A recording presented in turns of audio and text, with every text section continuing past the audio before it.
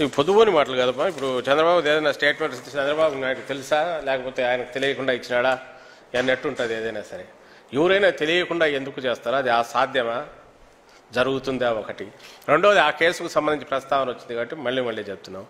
ఆ కేసు గురించి ప్రస్తావన రావడంలో వీళ్ళు దాన్ని అందుకోవడంలో చూస్తే ఆల్రెడీ మా లీడర్లందరూ పాయింట్అవుట్ చేశారు. ఎవరైతే మెయిన్ అనుమానాలు ఉన్నాయని ఆ రోజు చెప్తున్నాము. ఆ ఆదినారాయణ రెడ్డిని పక్కన కూర్చోబెట్టుకుని ఈ పవన్ కళ్యాణ్ వ్యక్తి నోటికి వచ్చినట్టు మాట్లాడతాడు ఒకటి.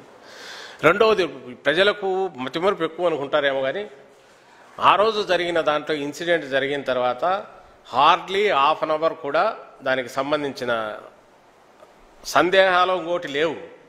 ఉంటే ఆరు ఆరున్నర టైం ఎగ్జాక్ట్ గుర్తులేదు. Within twenty minutes half an hour circle inspector వచ్చి అక్కడికి ఎంటర్ అయ్యాడు సీన్లేకి ఎట్లొచ్చాడు?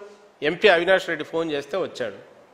అది దానికి రికార్డు ఉంది అన్నీ ఉన్నాయి. పో- ఈ వాళ్ళు పెట్టిన సిట్లోనే ఇవన్నీ వచ్చాయి.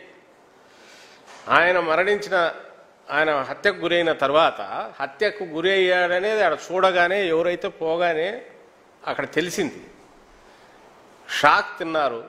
సిఏ వాళ్ళు వచ్చారు. ఆ ప్రాసెస్లో ఎవరో దాన్ని ఇచ్చేయాలని ట్రై చేశారు. ఆ చేసిన వాళ్ళని కూడా తర్వాత పట్టుకున్నారు. సిట్టు పెట్టినప్పుడు ఎంత అడ్డగోలుగా దాన్ని ఇచ్చేసారనేది అందరికీ తెలుసు.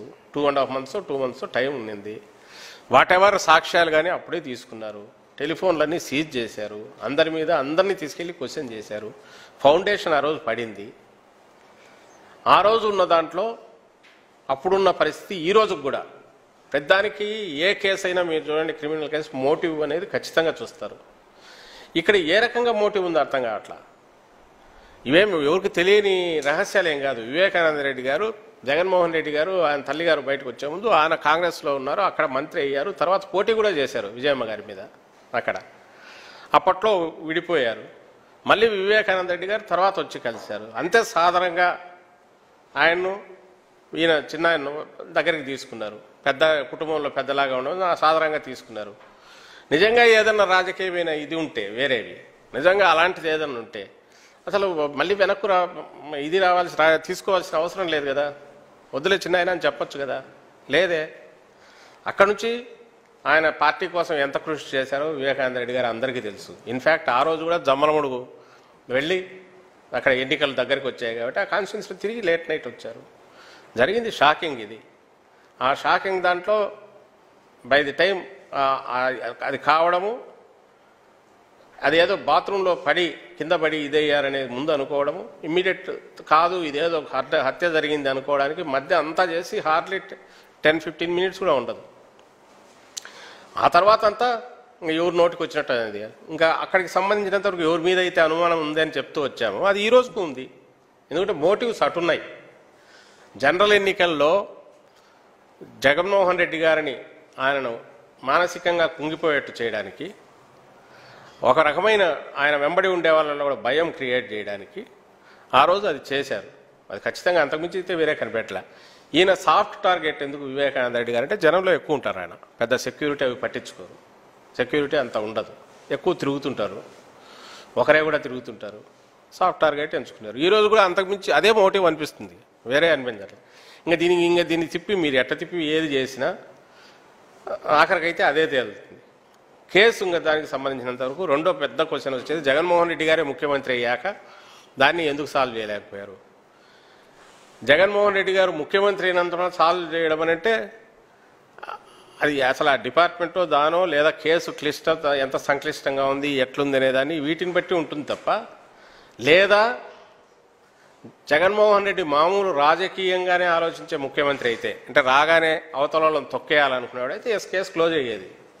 ఆయన అట్లా అనుకోడు కాబట్టే.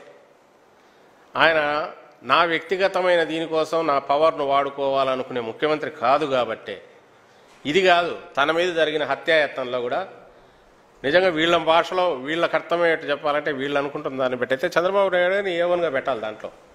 తీసుకురావాలి? ఎందుకంటే ఇన్వెస్టిగేషన్ అంతా మళ్ళీ ఎన్ఐఏ నుంచి మేం చేస్తామని తీసుకొని ప్రయత్నం అన్నా చేయాలా? లేదా వాళ్ళని ఇన్ఫ్లుయెన్స్ చేయాలని ట్రై చేయాలా? తన మీద జరిగిన హత్యాయత్నం కేసు గురించి ఆయన డిపార్ట్మెంట్ చూసుకుంటుంది మనకు సంబంధం లేదు. ఎన్ఐఏ కంటే మంచి ఇదే ఉంది ఎఫిషియెంట్ లెట్ దెమ్ డూ. మనం ఎలాంటి ఇన్ఫ్లుయెన్స్ చేయడానికి ట్రై చేయొద్దు అనుకునే మనస్తత్వం కలిగిన నాయకుడు ఆయన. ఈ కేసు కూడా అదే చేసింది. సిబిఐకి అక్కడికి పోయిన తర్వాత సిబిఐకి పోయిన తర్వాత ఎందుకు చేయలే వాళ్ళు? వాళ్ళు వచ్చి ఐదారు సార్లు వచ్చారో తిరిగారు. వాళ్ళు సర్కిల్ తిరుగుతూనే ఉన్నారు కానీ దొరకట్లా. జగన్మోహన్ రెడ్డి గారు సిబిఐని ఇన్ఫ్లుయెన్స్ చేయగలరా? లేదు ఇన్ఫ్లుయెన్స్ చేసే ప్రయత్నం చేయాలంటే అసలు కేసు పోకుండా ఆపడానికి ప్రయత్నం చేయరా కోర్టులో? ఎట్లా ఒకట్లా? అడ్డంగా లేదు మేమే చేస్తామని టైం తీసుకురా ఆయన ఏదైనా భయపడే మనిషి.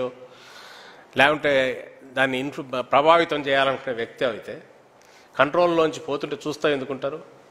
మామూలు సగటు రాజకీయ నాయకుడైతే అవతల ప్రత్యర్థులను ఎందుకు ఇరిగించడు కేసులో? ఇవి ఇవన్నీ జనం ఆలోచించరా? వీళ్ళు అడిగే క్వశ్చన్లకు అన్నిటికీ వాటిలోనే ఆన్సర్స్ ఉన్నాయి. జగన్మోహన్ రెడ్డి గారు ఎవరి పని వాళ్ళు చేసుకోవాలనుకున్నది. అది దానికి సంబంధించిన వరకు ఇన్వెస్టిగేషన్ టీం ఉంటుంది. Let them to their own work నా మీద హత్యాయత్నం కేసు ఆయన మీద.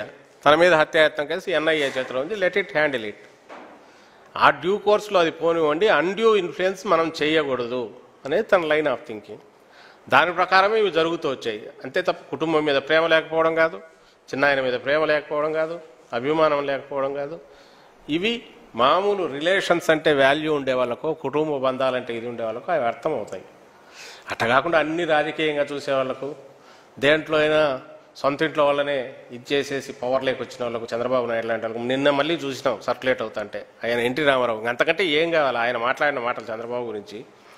ఇట్లాంటోడు అసలు ఎక్కడ ఉండకూడదని తనతో అంతగా ఓపెన్గా ఒక మహానాయకుడు ఏ పా ఎవరైతే పార్టీ పెట్టారో ఆయన మరణానికే కారణమైన వ్యక్తి.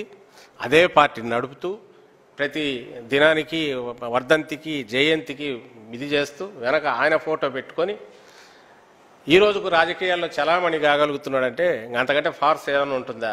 అలాంటి వ్యక్తులు అలాంటి వ్యక్తులు తయారు చేసిన ఇంకో అంతకంటే మరుగుజ్జులు వాళ్ళు మాట్లాడే మాటలు ఇప్పుడు మా వీళ్ళు చేస్తున్న ఆరోపణలు ఇవన్నీ కూడా. సో రియల్గా బంధాలు కుటుంబ బంధాలు కుటుంబము వాటి మధ్య బంధాలు మనుషుల మధ్య ఉండాల్సిన సహజమైన ప్రేమ వాత్సల్యం అభిమానం వీటి మీద గౌరవం ఉండేవాళ్ళు ఎవరు? వాళ్ళు ఈ కుటుంబంలో వైఎస్ఆర్ గారి కుటుంబంలో చూసేది వాటినే కనపడతాయి. అక్కడ చూస్తే మొత్తం రాజకీయం తప్ప కుళ్ళు రాజకీయం తప్ప వేరే కనపడదు. వాళ్ళ నోట్లోంచి వచ్చే మాటలకు అసలు వాల్యూ లేదు విలువ లేదని నేను భావిస్తున్నాను